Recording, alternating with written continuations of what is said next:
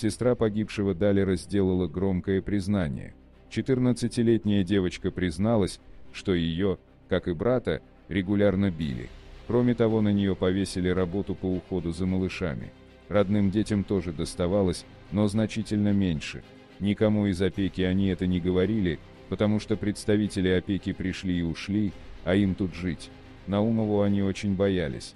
Та запугала девочку, что за смерть брата придется отвечать ей, потому что он скончался у нее на руках, когда она его мыла.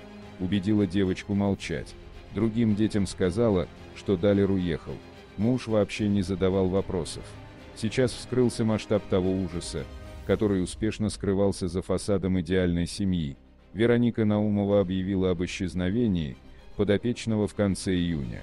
По словам женщины, утром 26 числа он ушел из дома в районе Вторчермета и не вернулся.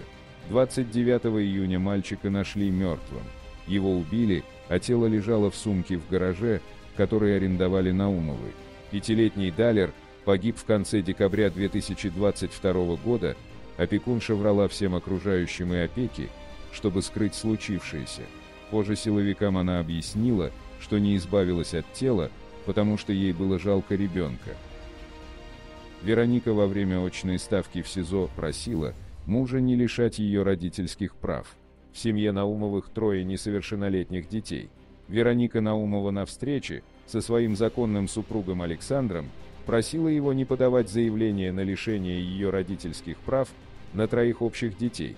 Муж пожал плечами, сказал, что пока не решил, как поступить. Неоднозначный ответ Александра не удовлетворил Веронику.